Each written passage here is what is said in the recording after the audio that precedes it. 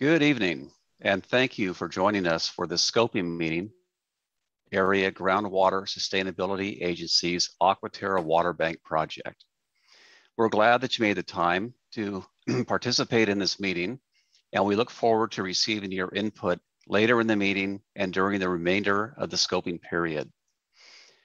My name is David Monroe, and I work for an environmental consulting company called Tetra Tech.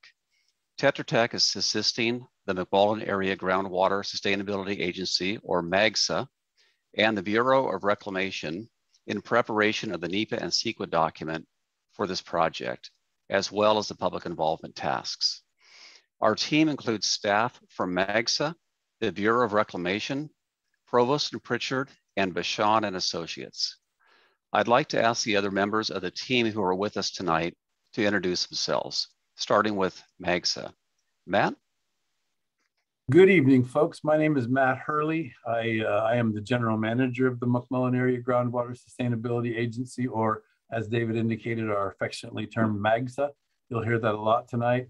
Uh, and also for the purposes of this environmental review, uh, I serve in the role of the project director. So good evening and welcome. Crystal? So I'll go ahead and introduce uh, Crystal Tufangshin and myself, Rebecca Quist. We're both with the Kings River Conservation District, and we help support on MAGSA outreach. Thank you. From the Bureau of Reclamation, Rain? Good evening. Um, I'm Rain Emerson. I am the um, Acting Water Conservation Branch Chief for our regional office, as well as the Environmental Compliance Branch Chief for the South Central California Area Office. I will be overseeing the environmental compliance for this project. Irma? Good evening. My name is Irma Leal on the Contracts Administration Branch out of the Fresno office. Welcome. Kathy?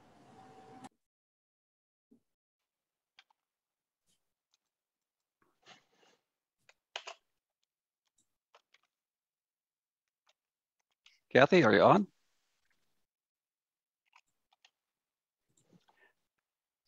Let's see, we can come back to Kathy. Uh, from Tetra Tech, uh, we have myself, uh, David Monroe. I am the project manager for the environmental for the environmental review. Erica? Yeah, hi, I'm Erica Ansel, also with Tetra Tech, like David. Um, I'm an environmental scientist and I'll be helping out with the NEPA and CEQA documentation, the environmental documentation for the Aquaterra Water Bank um, and helping to coordinate the process. Thank you. Our lead design firm is Provost and Pritchard Consulting Group. Our lead uh, engineer is Lynn Groundwater Moeller. Is Lynn on? Lynn may be a little bit late. I'm here.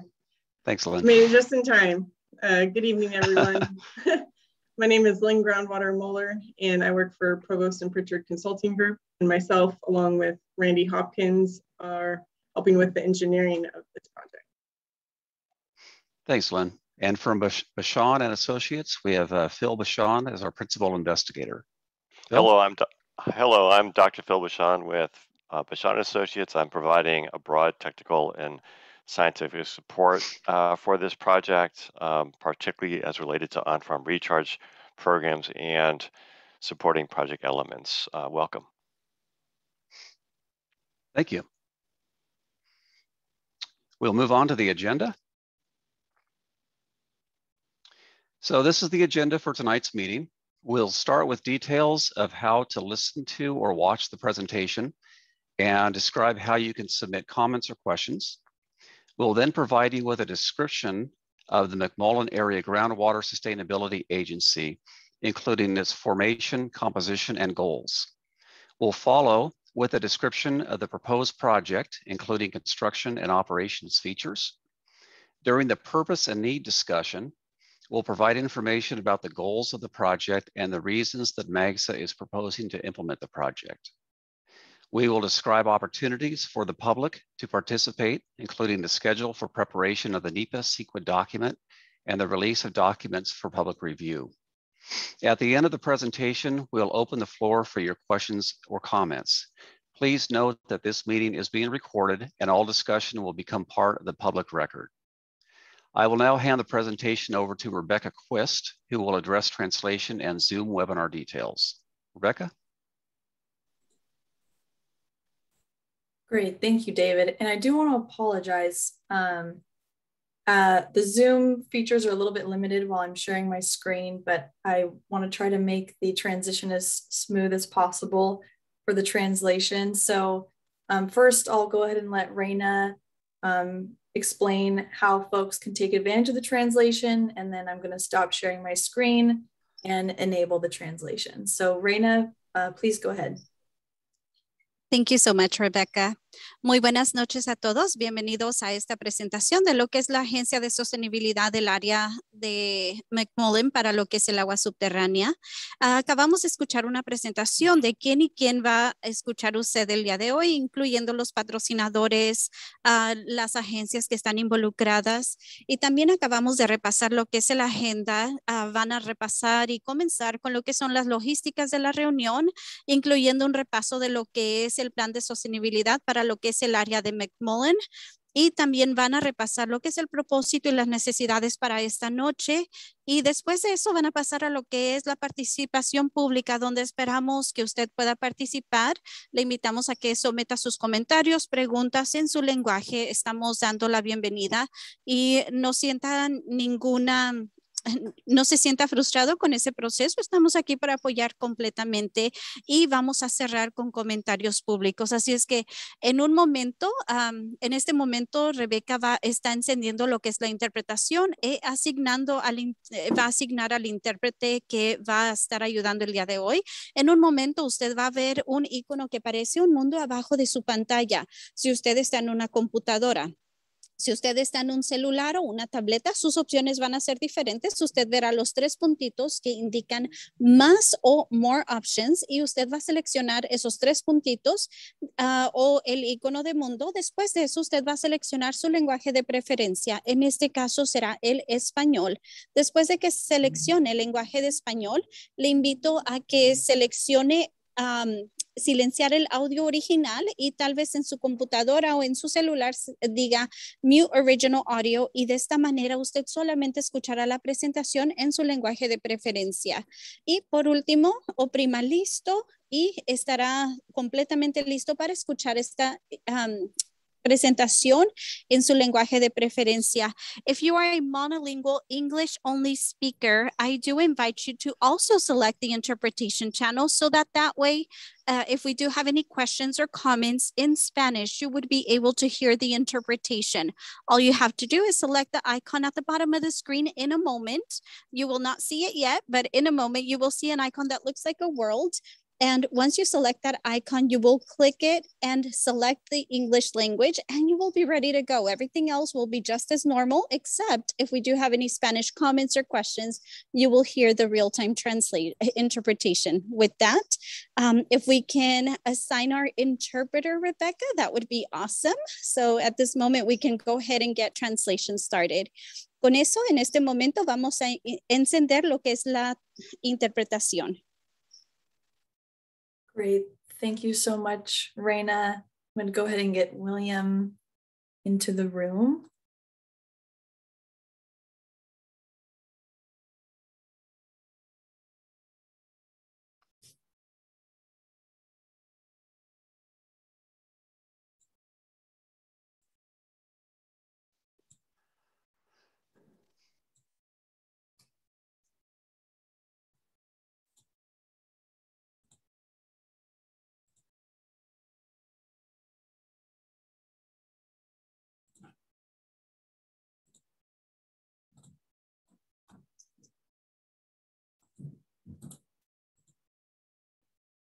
Okay, great. So I think we should be good to go. All right, Crystal, do you want to go ahead and move on to the next slide? Thanks for joining us again. Um, a few housekeeping details before we move ahead into the rest of our content for the evening. Um, for all who are participating um, in tonight's scoping session, I want to let you know that your video and your microphones are turned off and will remain off for the session. We also wanted to let you know that this webinar is being recorded and it'll be made available on MAGS's YouTube channel and website as soon as possible following the conclusion of the event. We'll also send a link to the video uh, to our email list. If you're not on our email list, you can visit our website at www.mcmullinarea.org to sign up and we'll make, or you can uh, drop your email in the Q&A box, let us know you'd like to be added and we can make sure that you're added to that list. And to keep the flow of information throughout the presentation, questions will be addressed at the conclusion of the entire presentation. If you have any questions that arise during the presentation, please feel free to type those into the Q&A box feature at any time, and they will be read aloud and answered at the end. And any comments from the public will be taken and recorded at this webinar so near the end of the presentation, we'll open up a dedicated time for comment submittal, and we will collect those again via that Q&A feature available on your Zoom menu. So we'll make a note to verify that we've received your comment, that it has been recorded, and more details on how to use that Q&A box to submit a comment will be provided towards the end. And with that, I'd like to hand it back over to our host, David. Thank you, Rebecca. In this segment, we'd like to provide you with a description of the McMullin Area Groundwater Sustainability Agency, or MAGSA. MAGSA General Manager Matt Hurley will describe MAGSA in terms of its original formation, structure, and goals. Matt? Thank you, David. Let's go with the next slide. McMullin Area Groundwater Sustainability Agency, or MAGSA, was, uh, was recently formed actually in 2017 uh, as a result of the passage by the legislature of the Sustainable Groundwater Management Act of 2014. Uh, we're located in Fresno County on the kind of the west central area. If you look at the map of California, you'll see that we are at the almost dead center of California. Uh, we, we think of ourselves as being the center of the universe sometimes. Uh, we are comprised of about 120,000 acres, about 90% roughly uh, permanent and field crops. The rest is uh, ecological preserves and uh, some rural residential. And uh, some of the most important items relative to MAGS are that we have no surface water rights on the Kings River uh, for surface irrigation. So we're a groundwater only area, which under the terms of SGMA would make us 100% white area. And, that, and we're the only GSA in the King Subbasin uh, with that circumstance. Uh, so we're, we're groundwater only. We make our agricultural living off of the groundwater. And because of that, a fairly large uh, cone of depression has developed over the last hundred years or so beneath our, our boundaries now. And so uh, uh that's also been a bad thing for overdraft, but a good thing for creating large amounts of available storage space. So uh, with that, let's move on to the next slide. Our GSP, or our Groundwater Sustainability Plan, is currently under review by the Department of Water Resources, but it, uh, it sets out several goals for us. Uh, first and foremost is we're interested in creating a viable, successful uh, GSA that serves our public's interest. Uh, we really, really have an interest in, in uh, working with our regional partners to develop projects and programs like a water bank. And we also would like to, uh, you know, be involved in that long-term strategy for sustainability, which includes uh, acquiring outside water and importing it in, uh, developing critical infrastructure, and coming up with creative financing to make it all work. Next, next slide, please. We're governed by a five-member board of, uh, of directors. Uh, we have uh, one member from the County of Fresno, it's Supervisor Brian Pacheco, uh, two Raisin City Water District board members, Director Gagan Bath and Director Don Cameron, who also serves as the chairman of our board, we have the Mid Valley Water District represented by Director Jeevan Singh. And then we have a at-large landowner who's appointed by the county, uh, Director Matt Abercrombie, who also serves as a vice chair. If you look to the right there, you see the blue hatched area represents the area currently uh, under the jurisdiction of the Raisin City Water District, and the black hatched area is the Mid Valley Water District. Um, next, next slide, please. Now, uh, a big question that comes up on a regular basis with me, especially, is you know, how does a water bank work? Uh, quite simply, a water bank uh, works just a lot like the financial model that we're used to when we go to the, the, the uh, Bank of America or Chase Bank. Uh, it's a groundwater storage facility which operates on the, the uh, deposit and withdrawal theories. just like your water, your, your financial bank, our water bank um, is subject to overdraft, which coincidentally is what uh, what your bank calls uh, the condition that your bank account is in when you take out too much money, uh, more than you have. Well, we have overdraft here in the King Sub Basin, and so uh, interesting parallel there. Uh, but a water bank uses the empty space in the aquifers that have been created over the, the years of uh, excessive withdrawals. And in our case, uh, we have almost 2 million acre feet of storage. And so we're hoping to use that in a very productive way. Uh, there are two basic methods of, of depositing water into a water bank. One is by direct recharge, which means that we accept imported water in through conveyance facilities and, and convey that water to recharge ponds, uh, direct recharge ponds so that the water can be percolated into the, uh, the, on, uh, the aquifer, or in the alternative, which is a, a, a, methodology that we're using here, the on-farm recharge, where we can bring water in and convey it directly to uh, active agricultural parcel, parcels for uh, recharge on, on their farms.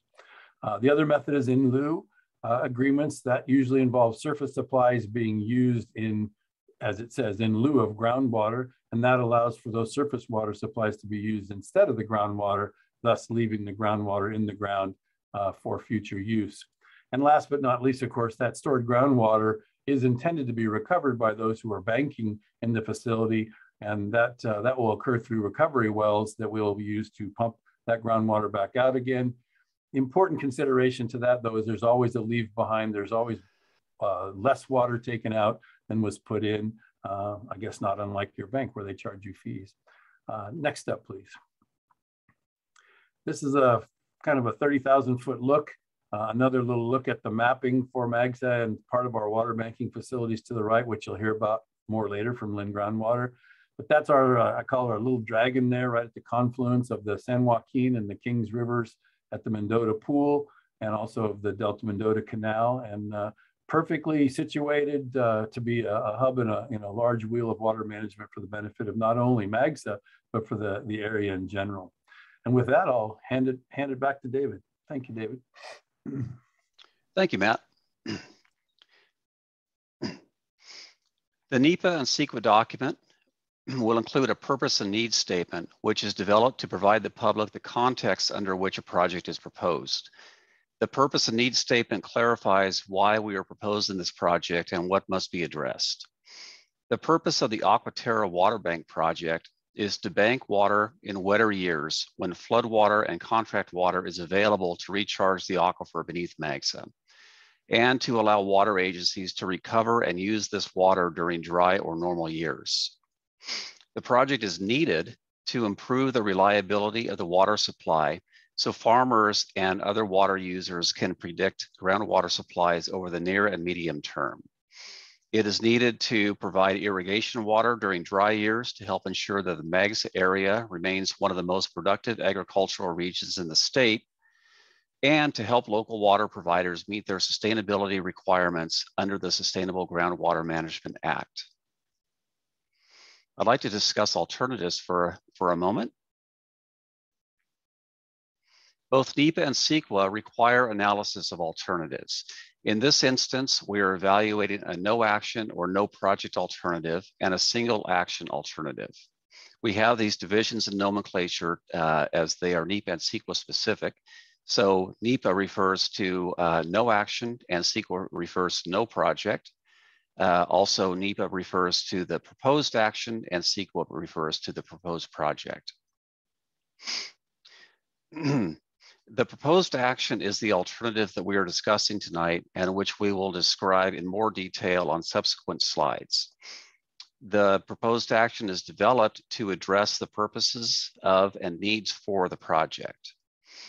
The no action alternative is uh, conveys the baseline conditions and is intended to uh, to describe the conditions that would likely persist or that are assumed to persist if the if the project is not is not implemented. With that, I would like to hand the discussion over to, uh, to Phil Bachand uh, to provide some background uh, for this project. Uh, and, and then uh, uh, Lynn Groundwater will provide an overview of the, of the proposed project. Phil?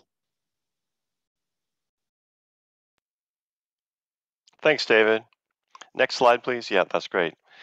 So the McMullin projects um, are developing infrastructure that will be used under the Aquaterra project. Uh, these projects are on-farm recharge projects. Matt discussed on-farm recharge, and it's when active farmlands are, are actively flooded to recharge to, to the underlying aquifer. So the McMullin projects are designed to divert available flood flows from the Kings River onto private farmlands for both direct recharge through on-farm recharge and in lieu recharge. These projects help address two important uh, issues uh, facing the region. One is uh, regional flood risk, and one is uh, groundwater overdraft. So the McMullin projects include phase one and the McMullin expansion. And these project projects have covered the design, permitting, and construction of main conveyance canals and their associated elements, uh, which are pump stations, crossings, and turnouts. They also have included the development of an on-farm recharge program that will be implemented with participating private landowners. Next slide. Phase one has been funded through a DWR flood corridor grant and matching private funds. It covers approximately 5,000 acres and is designed to, to capture and recharge about 150 CFS of flood of available flood flows from the Kings River. It uh, has required CEQA analysis to, to, define its environmental effects and any and to define any associated mitigations.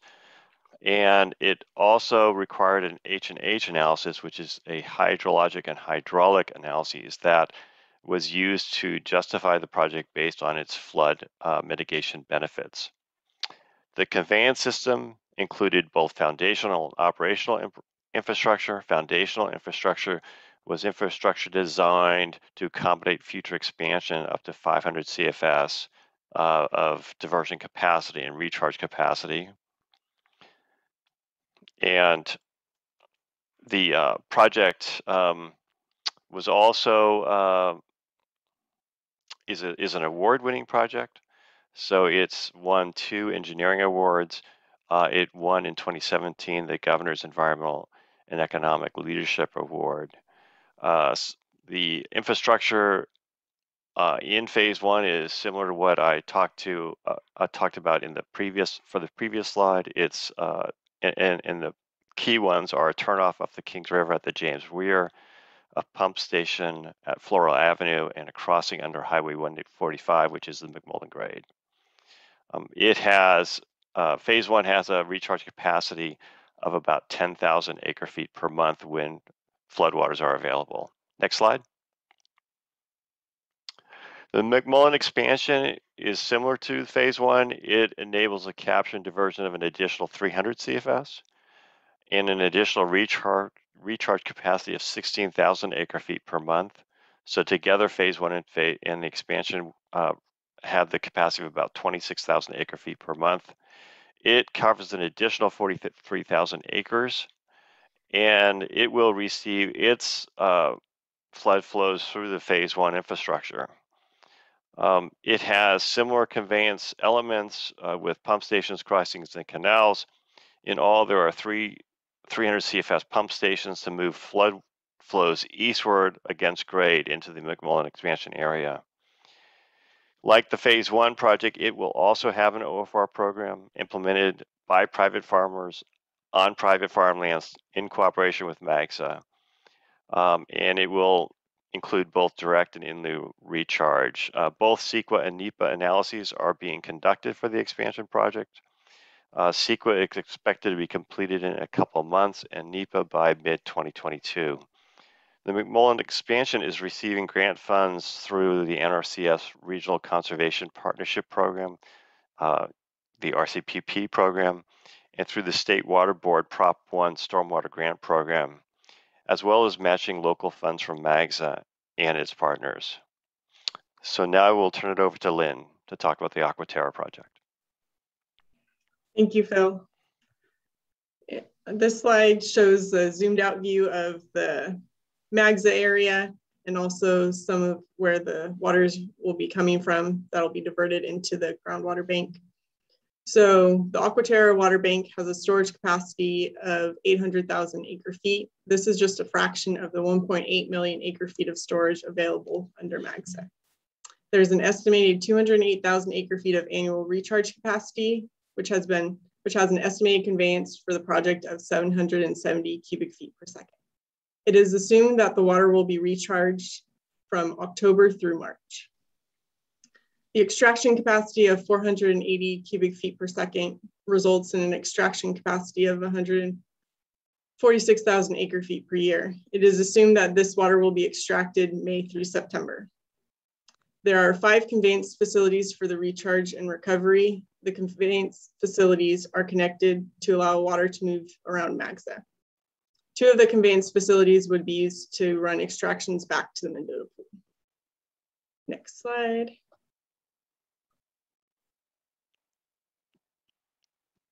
So this provides a map that shows the conveyance facilities in Magsa, as well as the purple dots are the pump stations. So the Magsa groundwater bank infrastructure will consist of recharge basins, recovery wells, canal conveyance, pump stations, and monitoring wells. There's approximately 4,000 acre, total acres of recharge. This is comprised into five separate areas identified in the yellow boxes. The recharge sites are on the east side of Magsa because of the better soils for recharge and better groundwater quality. To return water to the Mendota pool, there are about 90 recovery wells, with the majority of the recovery wells located in sites four and five, since those are the larger areas. So there are five main canals. The first one is the orange line, which is the Jensen Canal. This is one of the canals connected to the Mendota Pool. And the general topography of Magsa is it's uphill going north and east. So when we recharge water, it'll be pumped to the east and when water is recovered, it'll be by gravity to the west. The second canal is the James alignment, which parallels the James bypass. It's the light blue line, and then follows the American Avenue east to the east side of Magsa.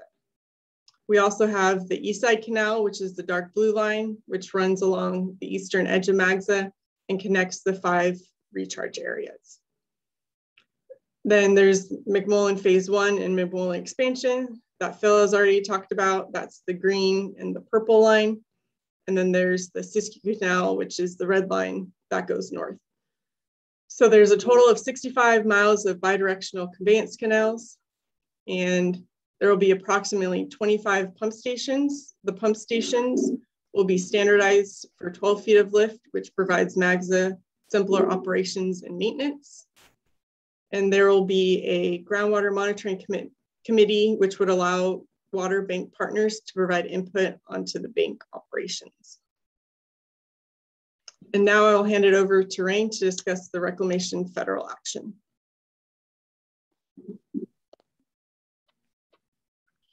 Great, thank you. So um, reclamation's federal action associated with the uh, MAGSA project involves uh, potential acknowledgement of the uh, proposed groundwater bank pursuant to the Central Valley Project Improvement Act. Um, and um, certain federal contracts. Um,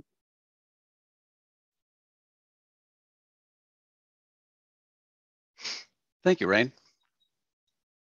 With that, I would like to describe uh, the environmental review process.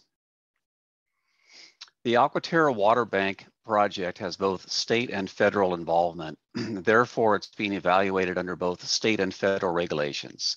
State of California review falls under CEQA, which is the California Environmental Quality Act, and federal re review falls under NEPA, which is the, the National Environmental Policy Act. These processes are similar enough that a project can be evaluated under both statutes in a single document. For CEQA compliance, MAGSA is preparing an initial study, and for NEPA, the Bureau of Reclamation is preparing an environmental assessment. These evaluations are being combined into a single joint document. Both of these studies are intended to determine if the project may result in significant impacts that cannot be mitigated to less than significant. If the project could result in significant unmitigable impacts, then the lead agencies may make the determination to prepare an environmental impact report under CEQA and an environmental impact statement under NEPA. If all impacts are less than significant or can be mitigated to less than significant, MAGSA will prepare a mitigated negative de declaration for CEQA and the Bureau of Reclamation will prepare a finding of no significant impact or FONSI for NEPA. On the next slide, we'll describe a, uh, a bit of the, the, the, goals of NEPA and CEQA. NEPA and CEQA are intended to both identify potential impacts to environmental, cultural, and social resources, and to inform the public of potential impacts. Both processes allow for and encourage public participation in the environmental review process. In this case, opportunities for public involvement include the scoping period, which is happening now, and the public comment period, which occurs when the draft environmental documents are released for public review. On the next slide, we'll discuss a few of the resources that we're considering. Uh, this list um, is, um, is indicative of some of the primary areas of, of concern for a project of this nature and in this location. Under NEPA and CEQA, we will be evaluating approximately 15 distinct resource types. Um, the, the list here, uh, as I said, are some of the primary areas of concern. So to, to make sure that we have the, the proper data and, and all the information needed to fully evaluate effects to some of these resources, uh, there are a number of, um, of studies uh, that are being implemented. Uh, we were performing air quality, uh, air quality modeling in accordance with the requirements of the San Joaquin Valley Air Resources Board. We are performing a, a, a cultural resources investigation. Uh, we have a, um, a, registered archaeologist on our team who is performing uh, database searches and, uh, and reconnaissance level ground uh, surveys to determine the potential for, uh, for protected cultural resources.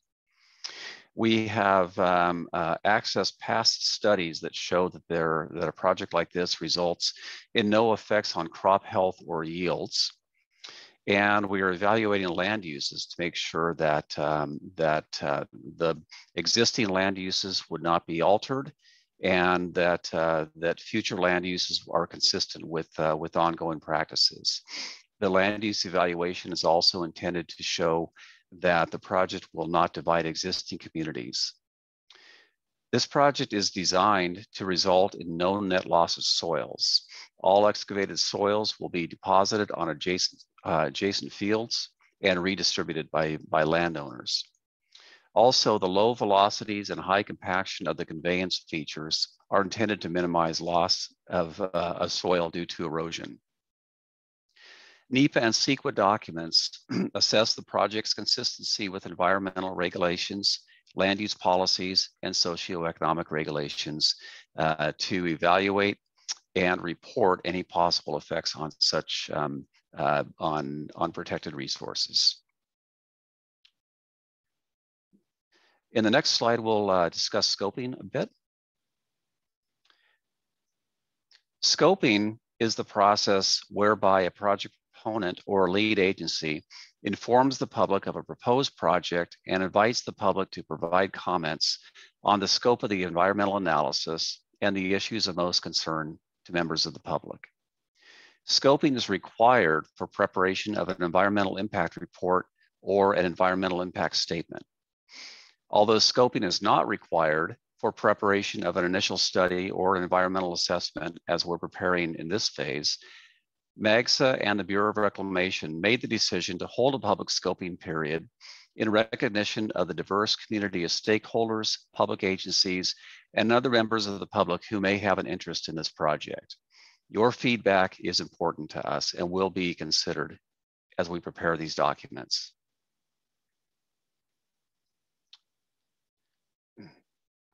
Members of the public are free to comment on any topic of concern to them during this process. Some of the general topics that are commonly addressed with scoping comments are shown on this slide. For example, um, are there concerns? Sometimes people ask if there are concerns with the possible outcomes of the project. Will the project operate as it's intended to? And it's incumbent upon the, uh, the environmental documentation to show that this project has gone through sufficient design that there is high level of confidence in the possible outcome. People often ask, what are the most important environmental concerns? And is there any controversy associated with this project? And uh, uh, frequently people ask uh, what other environmental laws apply. And we will cover all of those items in the uh, NEPA and CEQA document. For example, other environmental laws that, uh, that apply and are an integral part of the evaluation process uh, include the Clean Water Act, the, um, the Clean Air Act, the Endangered Species Act, uh, the Migratory Bird Treaty Act, and numerous other federal and state, uh, federal, state, and local regulations. So uh, the public scoping period opened on November 3rd and will close on December 3rd. So please submit your comments by then. We intend to have a draft NEPA CEQA document ready for public review and comment by late winter or early spring of 2022. The release of the draft environmental document will kick off a 30-day public comment period. The public comment period will be publicized in a similar manner to the scoping period. Following the public comment period, MAGSA and the Bureau will address your comments and prepare a final initial study environmental assessment. It will include either a mitigated negative declaration and FONSI or a recommendation to prepare additional environmental documentation. We intend to complete this phase of the environmental review process in late spring of 2022. With that, I will hand the meeting over to Rebecca, who will provide you with information on how to submit comments and stay informed over the course of the project. Rebecca?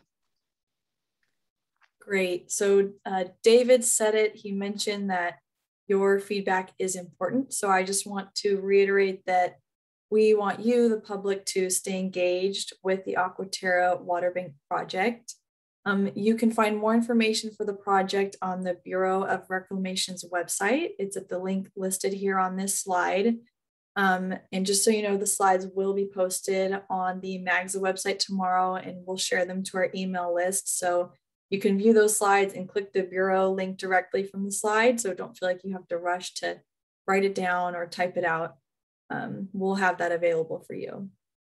And speaking of our email list, the fastest way to stay up to date is by uh, signing up for emails. So if you sign up, you'll receive meeting notices, project updates, and more information on MAGSA's work on projects within the area. So as I mentioned at the beginning of the webinar, but I'll go ahead and say it again, you can sign up at our website, mcmullinarea.org, or if you wanna drop your name and email in the Q&A box, uh, we'll personally make sure that you're added to the list. And we are also active on social media if you like to stay up to date that way. We post different updates, articles, videos, and more. And uh, hope you'll give us a follow to stay in touch. And we are active on YouTube as well, and that's where this recording will be posted. Next slide, please, Crystal. Thanks. Uh, if you'd like to contact us uh, directly on the project, you can contact Rain Emerson with the Bureau of Reclamation uh, by the phone number or email listed on the slide. You can see also uh, Matt Hurley, MAGSA's GM, his contact information is also on the slide. They would both be excellent resources on this project for you to contact. So the comment period for the water bank scoping session began on November 3rd and will conclude on December 3rd. So as we've mentioned, uh, we will be taking comments this evening via the Q&A feature. So now and anytime during this 30-day comment period, you can submit your comments a number of ways. So if you don't have a comment tonight, but you think of something later, or if you just have a question, we have other ways that you can do that. Um, so we wanna make it as convenient as possible for you to engage with us, however you're most comfortable. So you can do that by email, either to Reclamation or to MAGSA. Uh, you can also submit comments by mail to the reclamation office at the address listed, or you can mail or hand deliver to MAGSA's office in Kerman. Um, if you plan to hand deliver to the MAGSA office, uh, please do so during business hours. And you'll probably get a good chat with Madden if you do it that way. Um, so submitting questions, comments tonight, if you'd like to submit a question or comment, um, you can do so by hovering your mouse over the bottom of your screen. You'll see your Zoom menu will uh, pop up and you can select the Q&A button and just go ahead and type your question or comment and hit send. We'll see that comment, um, we'll see the question, read your question out loud and go ahead and respond live. So Uh, David, if, if you're in agreement, we can go ahead and open up the, the floor for questions and comments from the public. I'm in agreement. Thank you.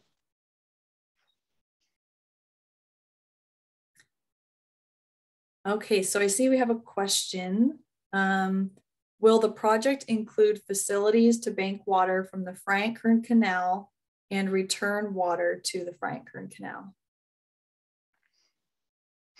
Thank you for your question. I'm going to let Matt address that question. Thank you. The answer is that, of course, the geography of the the layout of the Friant-Kern Canal and its distance from the, the McMullin Area Groundwater Sustainability Agency bank uh, will make the physical transfer of water unlikely. But what we'll find in the operation of a, of a standard water bank is that many times the, uh, the puts and the takes to the water bank, the deposits and withdrawals often occur by way of exchange. And so a, uh, a contract uh, water rights holder in the, say in the Friant-Kern with water in Millerton uh, could enter into a, an exchange agreement with another contractor uh, or with a, a, exchange partner, and we could deliver water, say, to the Mendota pool for further delivery, or uh, you know, or other other ways. But a direct connection is not envisioned to the Friant-Kern. Uh, along that same line, the you know the San Joaquin River and the Kings River, you know, when they're available, could could be utilized as direct connections for deposits but uh, withdrawals, direct withdrawals would have to be by exchange. Thank you, Matt.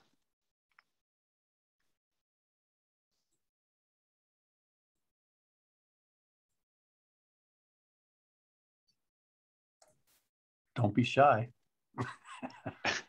there must be questions. There's 42, 42 people here. Let's uh, let's let's get some. No such thing as a dumb question, by the way. Within reason.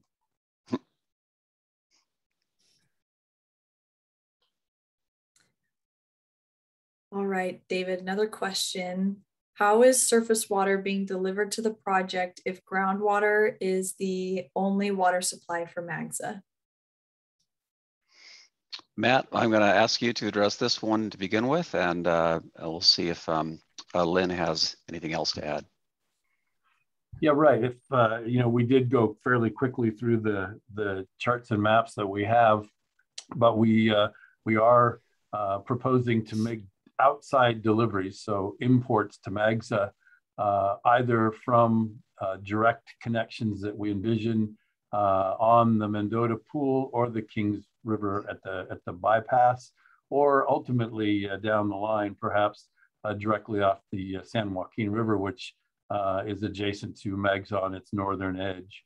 So um, that you know, it will be a matter of of uh, state and federal contractors availing themselves of the uh, the facilities, which are the San Luis Reservoir, the O'Neill Forebay, the Delta Mendota Canal, and other uh, ancillary delivery conveyances that already exist in addition to the rivers to get the water to MAGSA and back out of MAGSA again for ultimate delivery.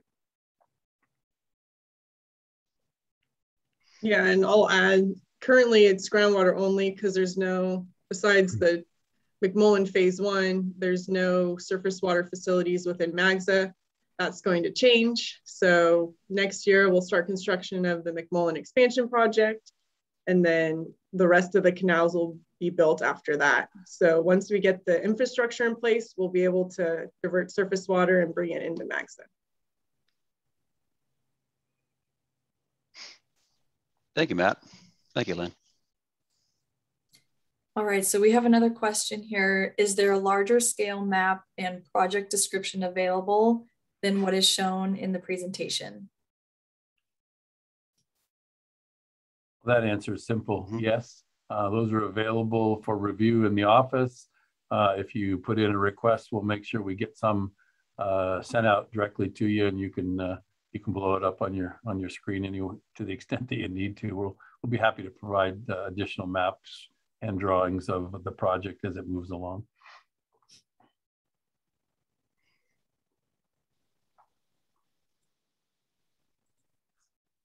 Thank you, Matt.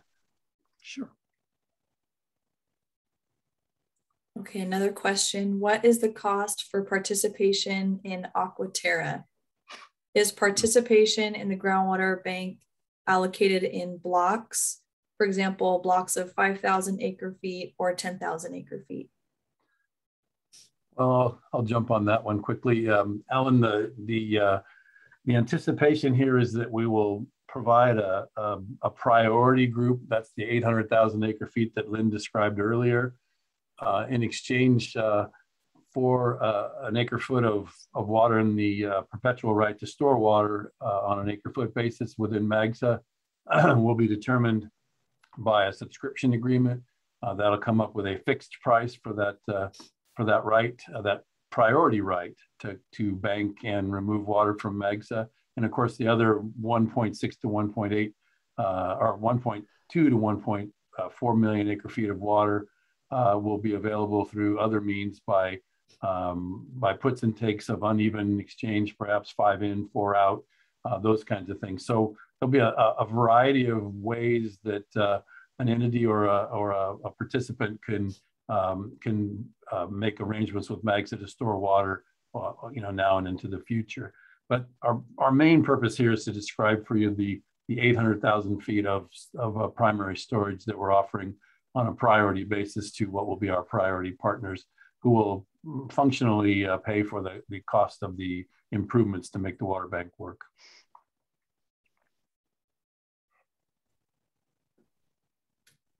All right, so another question. Can you speak to the proposed monitoring system to evaluate natural losses of water from water banks associated with horizontal groundwater flow?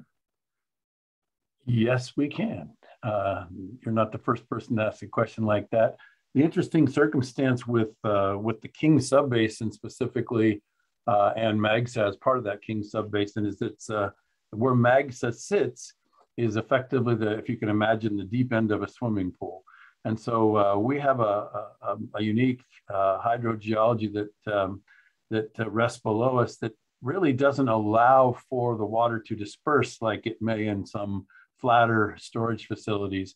And so what we expect is for uh, most, if not all of that water to remain underneath MAGSA's boundary uh, until such time as we fill up the current void, which is estimated to be between 1.8 and 2 million acre feet. So it'll be a nice problem to have when we get there but uh, we should have a full water bank before we have uh, any concerns about water uh, leaking out and, and heading other places. So there won't be a, a, a horizontal water flow, flow, necessarily coming out of MAGSA because of the subsurface hydrogeology that we, we have the, the good fortune of sitting over.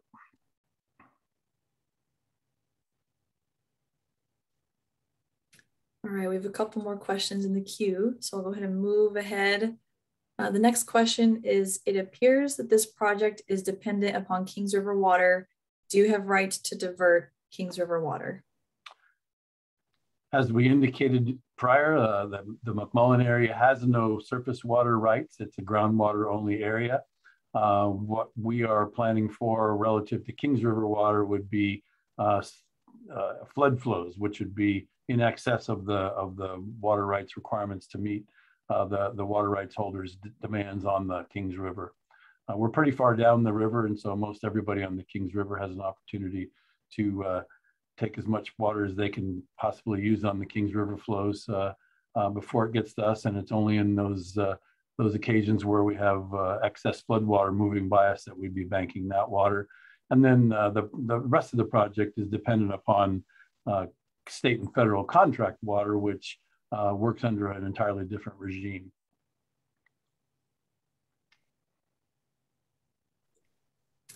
Okay, great. Next question is, who are your priority partners and how does someone become a priority partner? Well, we, we have not, um, because of the fact that we're in our environmental review and we don't have uh, ourselves uh, developed to the point where we can finalize that commitment yet. Uh, we don't have any priority partners currently, but we're in conversation with uh, several different water agencies uh, around the state, all of whom are either uh, state or federal water contractors at this point in time who have an interest in long-term storage for droughts, just like the one we're, we're experiencing right now. So uh, we have uh, a substantial number. We've conducted a, Uh, we actually conducted a tour about a year ago. It was a, it was a fun time, even in light of the of the um, pandemic, where we brought folks in and were able to drive them around and show them our proposed facilities and locations and so on. And that uh, that was a great opportunity for them to, to learn more about our proposed water bank. And those conversations continue uh, right up to the, I had one today, as a matter of fact. So it's ongoing. Someone becomes a priority partner simply by, by contacting uh, MAGSA and, and, and starting the conversation. We have an open door for uh, anybody and everybody who uh, would like to store water here. It's most likely going to come through an agency. I can be honest with you, it's not necessarily someone, uh, an individual per se, although that's not prohibited. Uh, but likely uh, the best thing if you're an individual landowner will be to contact uh, your primary water agency and talk about uh, a connection to MAGSA through the primary water agency. Right, great. So um, William is asking a follow-up. He asked the question about the groundwater flow. Um, he'd like to know how did you evaluate this watertight basin? Well, um, we've we as the Kings River subbasin or the King subbasin, excuse me, um, have worked the coordination agreement out. We've done subsurface studies. We've had uh, experts uh, assess the flow of water within the subbasin, and uh, the conclusion is fairly clear that uh, we have, as we described previously, uh, some, some areas below our boundary which uh, have uh, essentially become void of water due to overpumping over the last hundred years. Uh, we have the, also the good fortune of uh, not having a, a, serious subsidence issue on, on the east side of the river, which is where MAGSA sits. And so virtually what we have is a full understanding of the last hundred years that the, the area has gone from uh, one of being uh, uh of, of uh, you know, a slough, a part of the Fresno slough and, and having high groundwater levels to low groundwater levels without subsidence. And so we believe that that has effectively created a, a vault, if you, you know, if you can imagine one that is, that is waiting to be refilled again. And so that's how we've concluded that from our hydro and, and geological studies. Okay, so he has to follow up. Um, so I'm going to jump down to that one, but I'll get back to you other two questions on hold.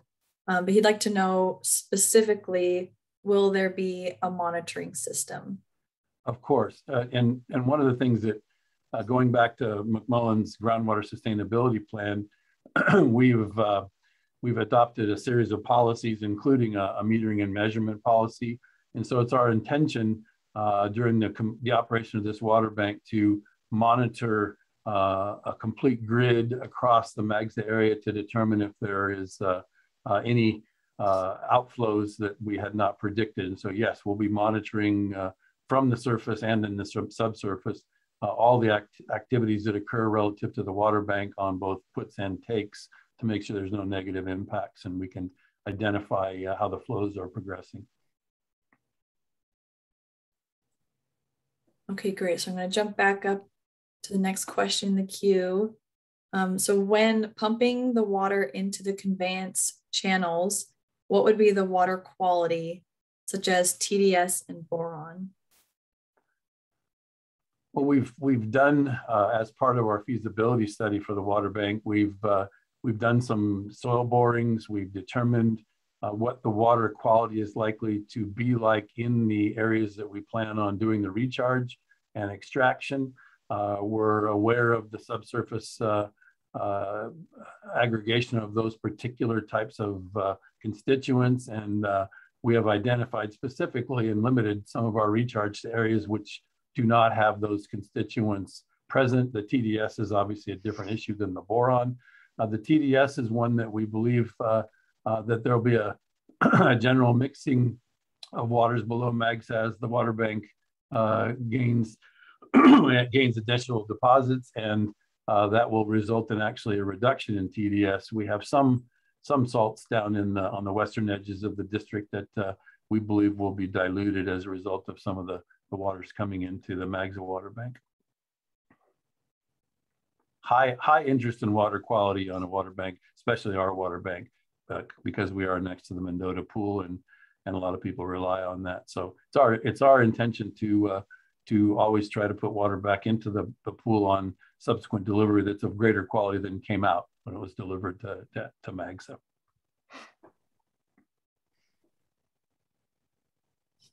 Okay, so another question on the Kings River. Uh, so if you intend to only use floodwaters on the Kings, does that mean you will never make a claim to Kings water? Well, uh, that particular question is a great one, but uh, we never know what the future might hold. And uh, I probably even know who the anonymous attendee is, but I'll just answer the question. But uh, uh, that's not a subject of conversation in this particular presentation. All right, so next question is Aquaterra is pursuing CVP acknowledgement. Can the water bank also deliver and recover SWP water as well? Yes, the the reason, well, perhaps the Rain would like to chime in, but the, the, the Central Valley Project and the Bureau of Reclamation do have a, a process that, uh, that we are following in order to do a full analysis as to whether or not uh, they will be able to do that acknowledgement and, and that certification. Uh, under the uh, State Water Project, of course, we're doing a CEQA review and there's no, uh, there's no similar or, or parallel acknowledgement that the state does. Uh, but we will be accomplishing all of the uh, the regulatory review, et cetera, that's required for us to set up a water bank in the state of California, of course, and in the in the county of Fresno, for that matter. All right. So, will there be a maximum time that deposits will be left in the bank? Um, that will be something that was mentioned briefly uh, during the presentation that we will have a an operations committee. and I think as we do the monitoring, as we do the deposits, and as time goes by, uh, that'll be a, you know, excuse my the pun, it'll be a fluid analysis that that, that uh, follows the uh, the deposits and withdrawals, and it may be subject to some time limitations. But at this stage of the game, uh, we don't have any preconception about how long the water uh, can be left in the water bank.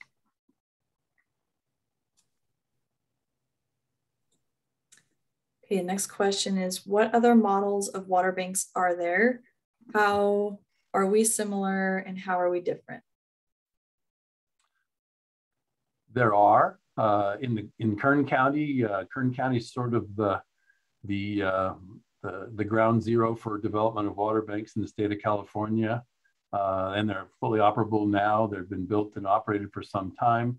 Uh, the generally the um, the differences would be in the subsurface soils and, and permeability and the ability of, of, water to permeate or percolate into the into the subsurface. Um, down there, it's a it's a different set of soils than it is up here, uh, but we do have uh, a, a, slightly the I think a previous question was about the the tightness of the of the uh, the basin here. We do have a a little tighter uh, basin here than there is perhaps in in uh, Kern County, but it's generally distinguished by location as much as anything else. But water banks are relatively new concept within the state, you know, 20, 25, 30 years old. So uh, we are attempting to improve on that mousetrap as we go forward and try to, to bring the most up-to-date and, and current water banking facility available in, in the state when we complete our water bank. Okay, so the next question is why is a local groundwater sustainability agency proposing to build a massive groundwater bank for the benefit of distant state and federal contractors?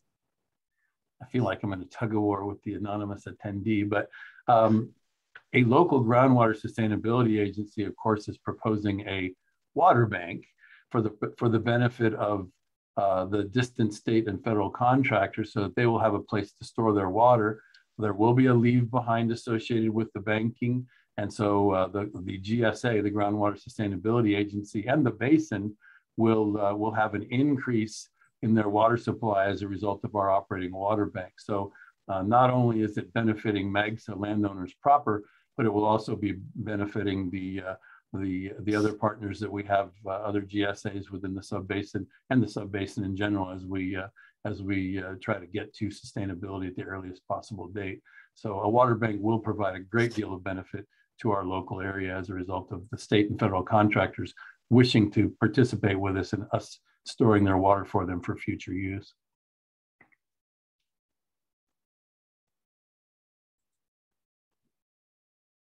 Okay, so follow-up question uh, says your refusal to answer the above question indicates that you may want to make a claim to King's Water in the future. Presumes facts not in evidence, as they say in the in the legal world. No, that's not the wasn't the answer to my question. I said it's not a scope part of the scope of this particular conversation, and uh, I'm not at liberty to disclose one way or the other what my board of directors or my landowners may have a plan for the future.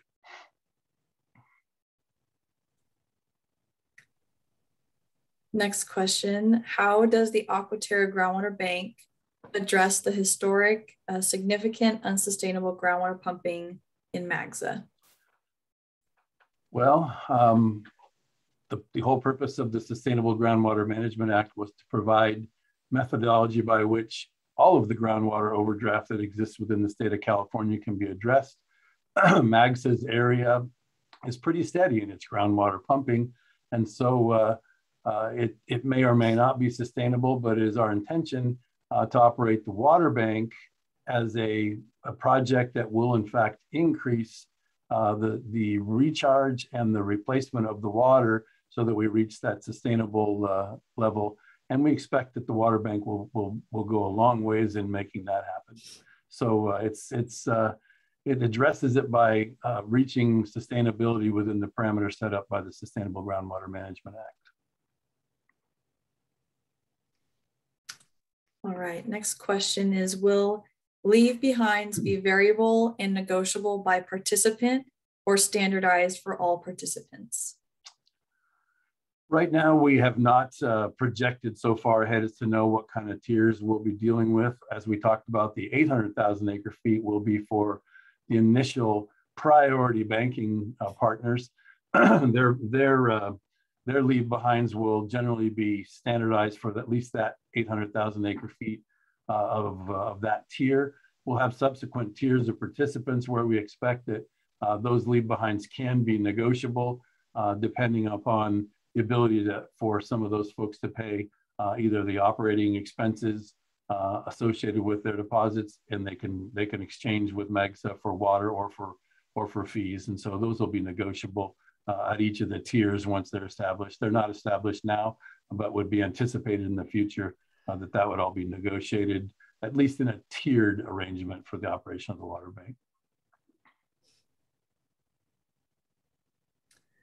Right. So next question is, will landowners be able to use water from the water bank over the 10% leave behind?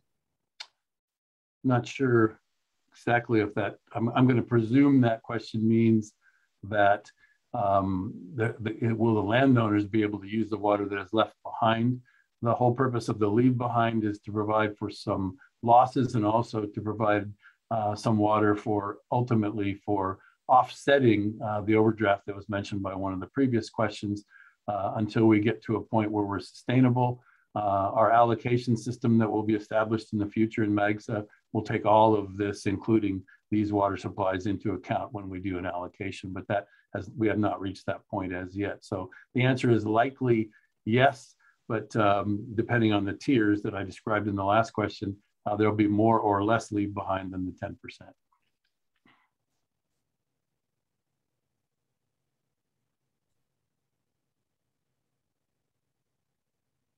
Looks like we have a, a bit of a lull. We can wait. Got it. Had a little flurry there. That was good. you can take a drink of water, Matt. yeah.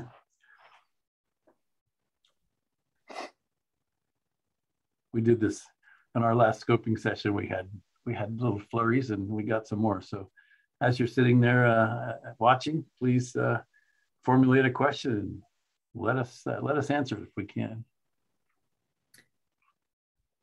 Okay, you didn't get Alan, that long Alan, of a break. Alan's got some, Alan's got some great questions. Um, Ab, Alan, the question is, do you expect the 800,000 acre feet to be fully subscribed? The answer is absolutely. Uh, I'm hoping that uh, we'll have all 1.8 to 2 million acre feet subscribed in some way, shape, or form uh, as we develop this water bank, and that we uh, we can have that water, uh, the leave behind water serve to to retire the overdraft in the Kings Subbasin at the earliest possible date. So yes, we fully expect the 800,000 to be subscribed to.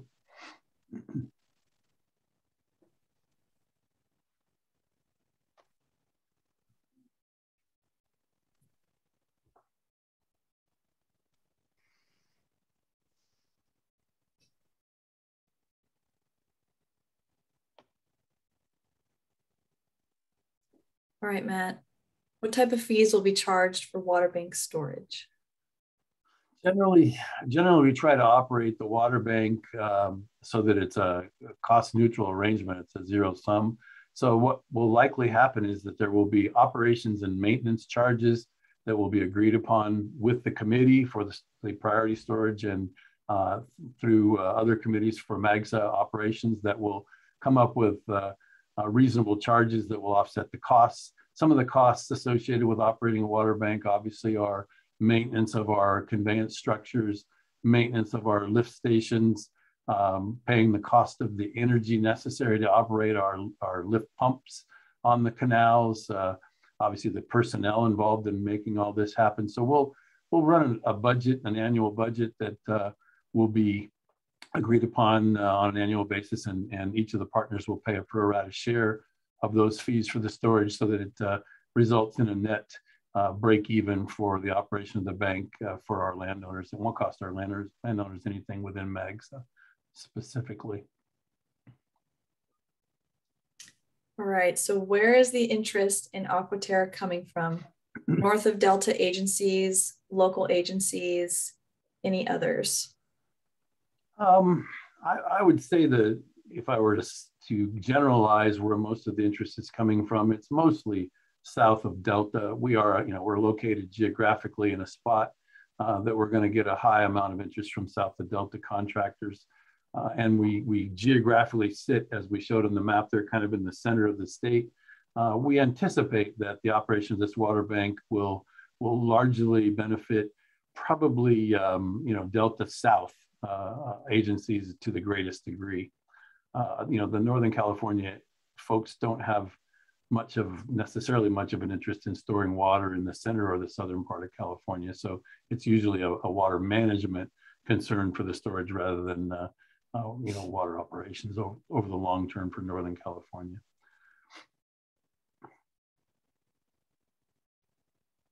Great questions.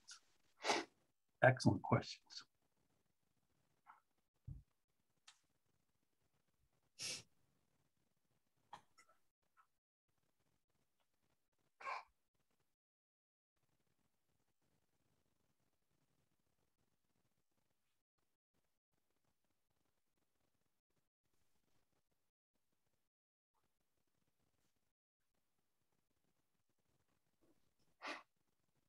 We should have some like elevator music or something we could put on there and, and play while we're watching, or the or the Jeopardy Jeopardy music. Matt, usually with you around, you know, we figure we don't need it. well, I haven't done, I haven't gotten up on my desk and start tap dancing yet, so I guess that's a good thing. no, I'm actually really enjoying the questions. I think they're very, they show a high degree of uh, of uh, interest by the participants, which I uh, I'm very appreciative of.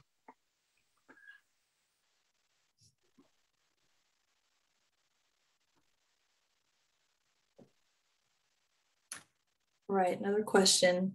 Will minimum thresholds curtail recovery if they are reached during a drought period and recovery recovery requests from the groundwater bank remain strong?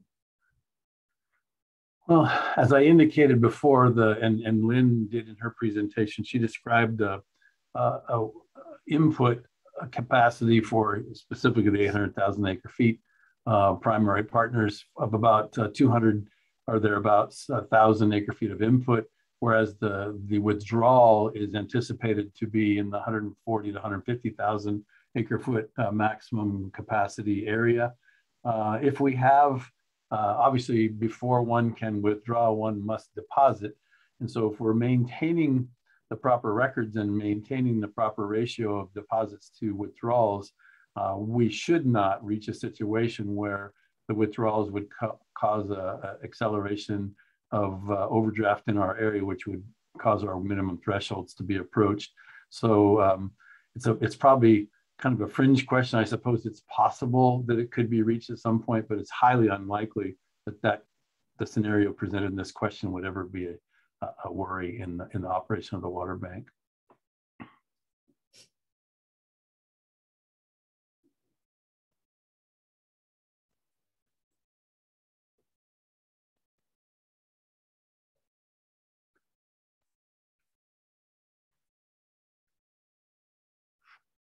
Well, everybody's still here.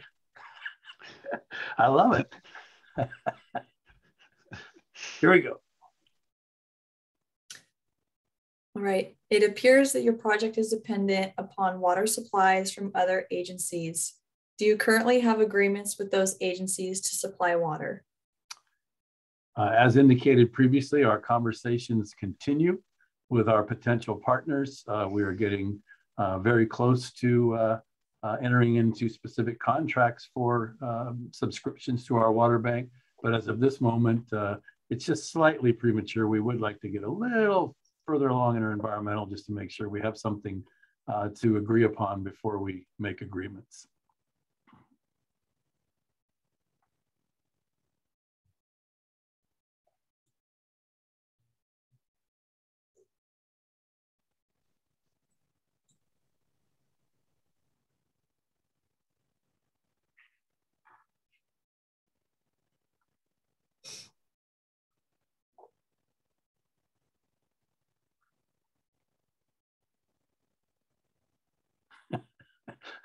I have this urge to whistle. I don't know why. I'm not going to start whistling. So you guys don't want that.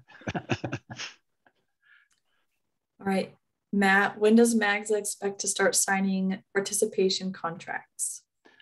Uh, as I indicated, I think we're looking for uh, we're looking for some you know initial inputs off the environmental. As soon as that occurs, and it looks like we're in in pretty good shape, uh, um, you know we uh, you know, we'll begin to execute those agreements probably in the in the foreseeable future here over the next couple of months, I'd imagine.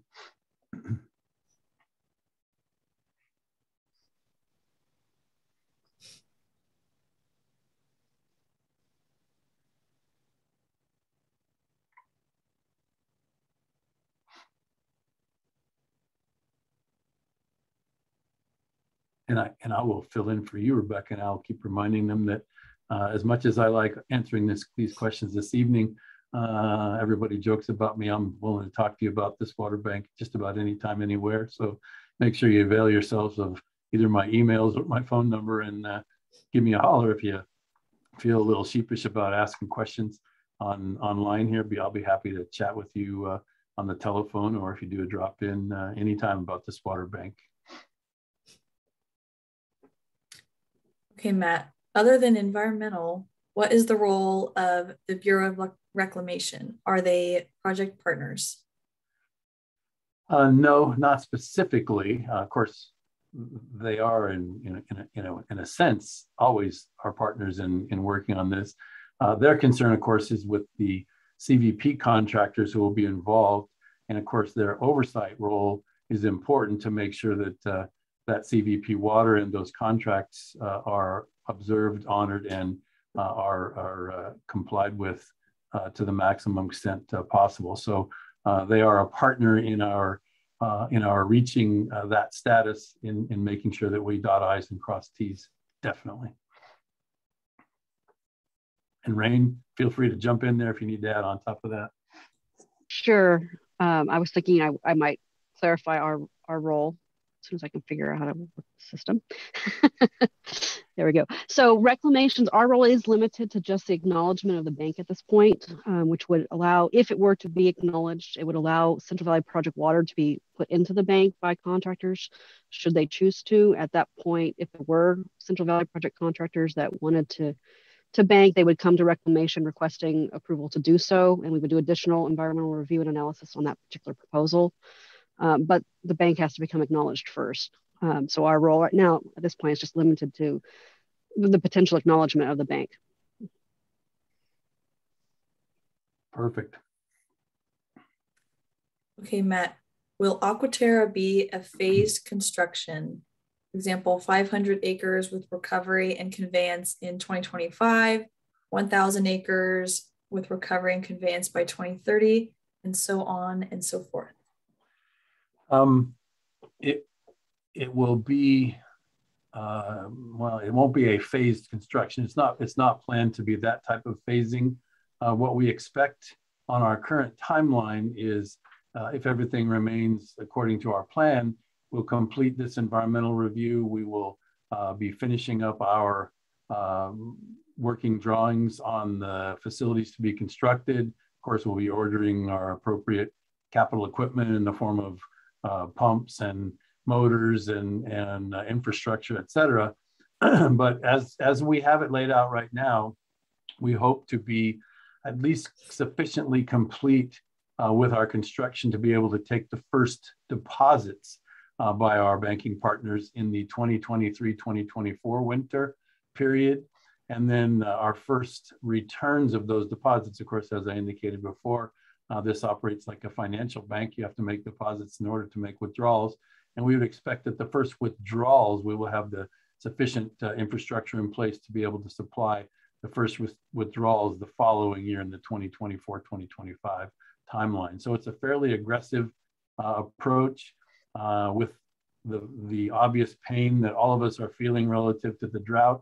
it's our sincere interest to try to get this water bank up and operational so that uh, the next time there's a flood or a drought, uh, that uh, we minimize the effects of the drought and maximize the ability for recharging during the flood so that we can uh, get a better balance and better management of the water supply in the area at the earliest possible convenience. So uh, that's the plan on how to get to that.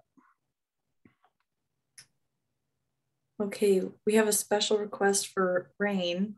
Rain, when do you expect to have your environmental review completed?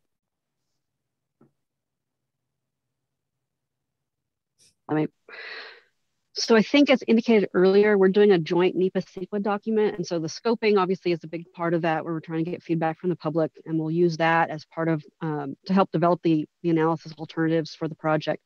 I think that um, the schedule that the consultants were looking at was early spring, was it February, March that I was seeing on our schedule, as they were thinking of having a draft um, EAIS out for public review.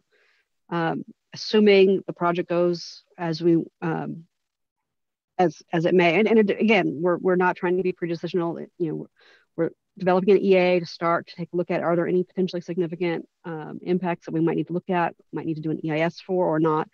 Um, so to answer your question, I don't know 100% know exactly when we're going to be done, but I would anticipate um, sometime in 2022 we should be done, depending on what the resources end up being and you know comments on the on the from the public on the draft documents and how long that might take to address. Um, I don't know, um, Rebecca or Matt or David on the terms of the timeline at least estimated at this point. So the, the timeline you discussed, Rain, is pretty consistent with what we have in the schedule so far and what we put on the screen earlier. Um, and as Rain said, that is assuming that um, you know everything goes according to plan, that we don't uh, necessarily identify any significant and unmitigable impacts, uh, or that we need to do additional studies to uh, to document any of the um, any of the potentially affected resources. But at this point, um, we do anticipate that uh, public uh, public review will occur in late winter or early spring of 2022, and um, that we will have a, um, a, a, final draft uh, document um, in our hands um, in, uh, in late spring of 2022. Um, also, I'm, I'm sorry, Rebecca, one more, one more thing. Um, and as Rain was, uh, was, was mentioning, um, at that point, we will be looking at the, at the effects and um, that are identified in the initial study and, uh, and environmental assessment and uh, determining if the uh, impacts are uh, sufficiently mitigated or if there are remaining significant impacts and whether uh, additional environmental evaluation will need to occur at that point. Thank you. All right. So next question is, will the bank affect the San Joaquin River restoration settlement in any way? I think the answer to that is it's it's it's not set up to affect the San Joaquin River restoration settlement at all necessarily. I think just personally, I think that uh, with the bank being developed and its geolocation, uh, it may in fact provide additional uh, assistance for the, uh, the successful implementation of the settlement uh, that might not have been considered when the settlement was made. So for example, uh, we may be able to, you know, seek the, the advice of the San Joaquin River Restoration Project as to whether or not they think that you know, accessing our bank for storage for purposes of operating uh, the San Joaquin River in the future may be beneficial. And we hope that uh, that, that will be the case and that uh, the existence of the water bank will be helpful in, uh, in, in reaching successful uh, San Joaquin River restoration.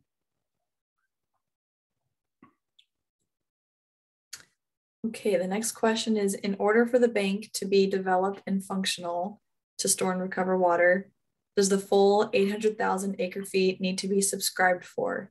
What would happen if some partners dropped out, for example, and only a portion of the facilities could be developed? Well, as with anything, nothing's guaranteed. Um, this this 800,000 acre foot um, priority storage uh, capability is in the scheme of things right now with other water banking projects being proposed and Sites, reservoir, reservoir and other storage facilities, it, uh, it tends to be on the less expensive range of, of, uh, of, the, of the scale. And so we fully expect that not only will we, we fully subscribe our 800,000 acre feet of priority, but we may in fact have those who uh, essentially will be uh, on standby in case any of the, uh, the partners ha have a need to, to uh, not complete their obligation.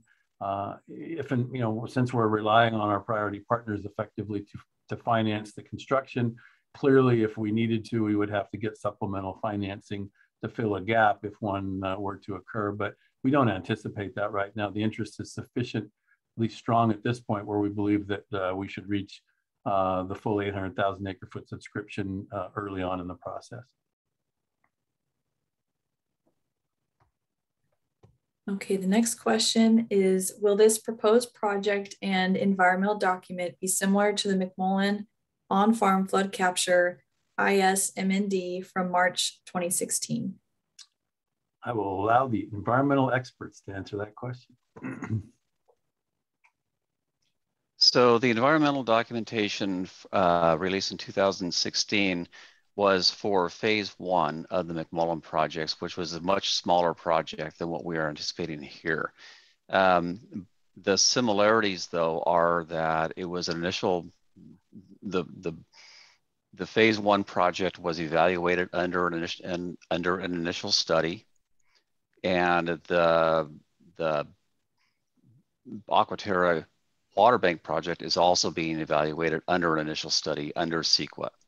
So uh, those, from that standpoint, the project, the, the evaluation is similar.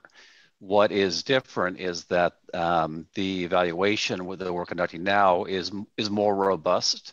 It's, uh, there's, there's more evaluation of groundwater or potential groundwater effects. Um, there's more public involvement because the, the project is just uh, by necessity much larger. So um, there are there are similarities in the process, but in the um, uh, in the production of the documents, there are there are fairly large um, fairly large differences.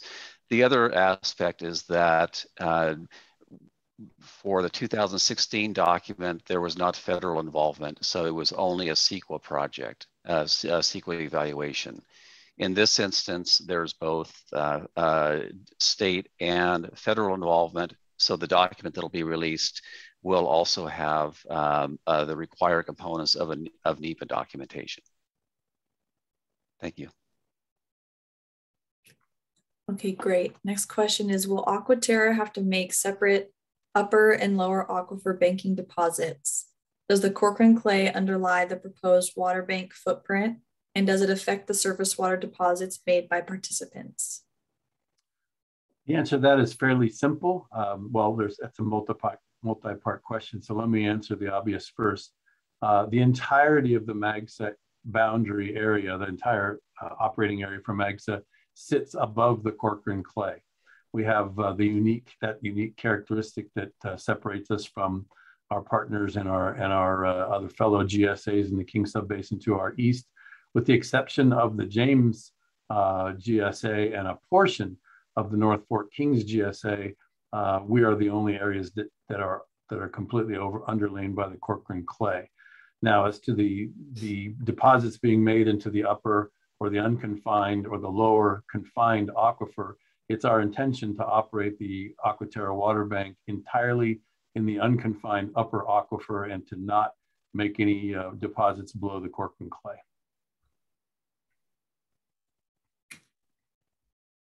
Okay, so next question. Will we be applying for federal and or state grants for the project? Well, this is one of my favorite people in uh, in Magson, so I'm going to give her the answer that I would give her if she was sitting in front of me. Uh, we will always be applying for federal and state grants for our projects, and we'll continue to do so. Um, stand by for some some really good information from our crack outreach team as we begin to announce the fact that we just received a couple of uh, fantastic grant awards, and we continue to apply for additional grant awards. So for this and all of our projects, we are going to continue to seek out uh, every opportunity to get federal and state grants to assist us in financing the, the work.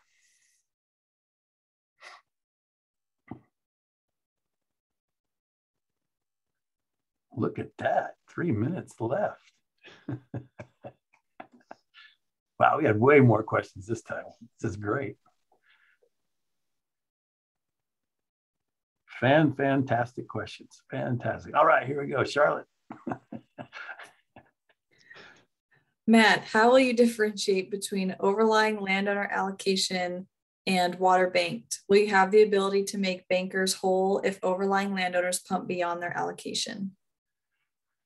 We, uh, as I indicated previously, we intend to meter uh, and monitor every single well within the MAGSA boundary so that we know exactly uh, who's producing what water from their wells. Uh, it's our intention to have all of our wells connected telemetrically uh, to, uh, to a, a, central database management system. Uh, that will be uh, our ability to do real-time monitoring so we'll know who's doing what and if anybody's exceeding their allocation either as just a direct overdrafter or as an overdrafter of water belonging to somebody else. Yes, we'll have real-time monitoring of that.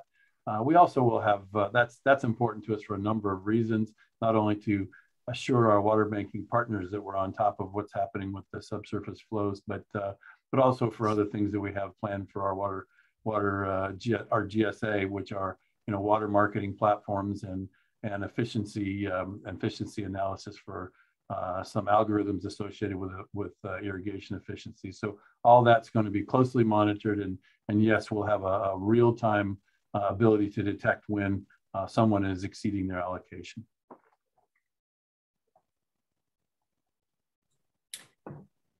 Matt, who is MAGSA considering for the groundwater accounting framework?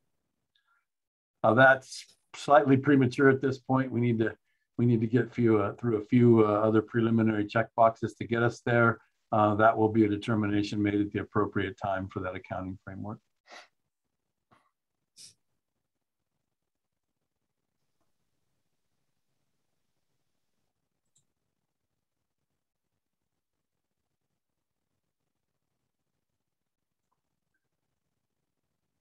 still got time to sneak one in. Oh, maybe not. I see I see the big 730 now, but we would take another question if somebody had a burning yearning to get an answer, that's for sure.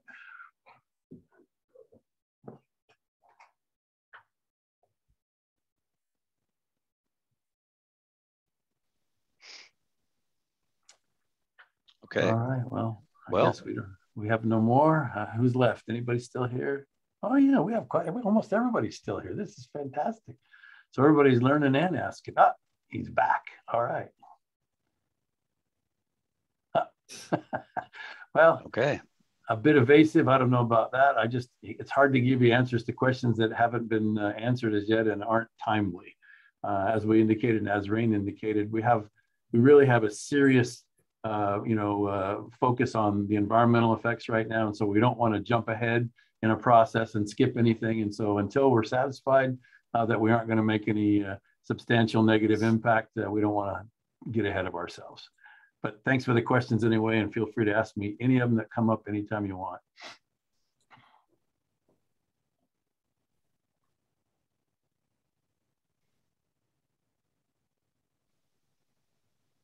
Well, if there are no more questions at this time, I believe that concludes the scoping meeting for the MAGSA Aquaterra Water Bank project. Thank you all very much for your, for your interest and for those great questions. We will be putting uh, your questions and any comments that come in by December 3rd into a scoping summary report, which we will be part of the, uh, the administrative record and which will be attached to the, um, the CEQA and NEPA document when it is released. Um, that document will, uh, the, the, the public document will indicate how your comments were incorporated into the, uh, into the environmental evaluation and were addressed.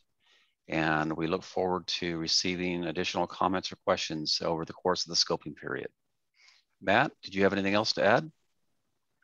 Just uh, wanted to say thanks to everybody who came and listened and is paying attention. And uh, hopefully uh, we can continue the conversation about this great water management possibility and, and really, really uh, take advantage of it as a, a regional water management uh, benefit for everybody involved in this area, not just MAGSA. Okay. I would like to thank Rebecca and Crystal for uh, facilitating tonight's meeting. I'd like to thank uh, uh, the participants from the Bureau of Reclamation uh, for, for attending and explaining your role in the, in the project. And I'd like to thank all the participants for, uh, for taking your time to participate in this, um, uh, in this scoping, in this public scoping process. So thank you. On a, on a light side note, rarely will you have an opportunity to have two presenters, one who's named Rain and the other named Groundwater. Uh, it's, it's a tremendous uh, privilege to have both of those, those presenters uh, with us tonight. And hopefully uh, uh, each of them will continue to produce uh, the, that, that resource level that is contained within their names. With that, I think we'll conclude. Thank you. Good night. Good night all.